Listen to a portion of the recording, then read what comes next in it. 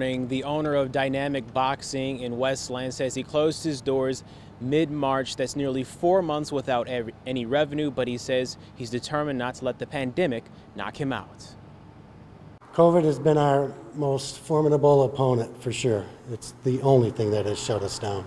Down, but not out. Chuck Phillips says Dynamic Boxing Club has been open consistently since first opening in 2005. But because of the pandemic, he says the only thing entering the ring these days is dust. It's, uh, it's been difficult. Uh, this really isn't a business for me personally. It's, we do need to keep the lights on and such, but it's been more of a ministry.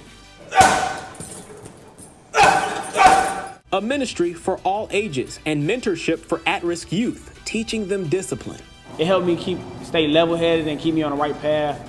Jericho O'Quinn says he started at Dynamic in 2009 at age 14 alongside his brother Rob. He since won several national titles and most recently became WBO champion.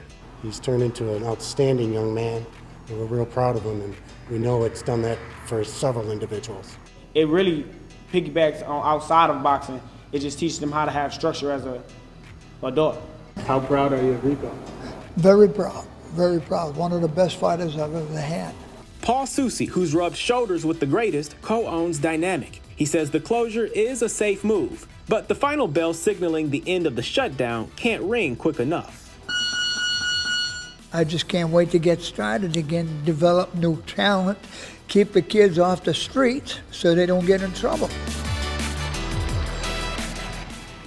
Now, Phillips says he has been able to maintain the club financially so far. Now, he's hoping that in a safe manner, as safe as possible, that they'll be, be able to reopen the boxing club this fall. Reporting live this morning, Darren Cunningham, 7 Action News.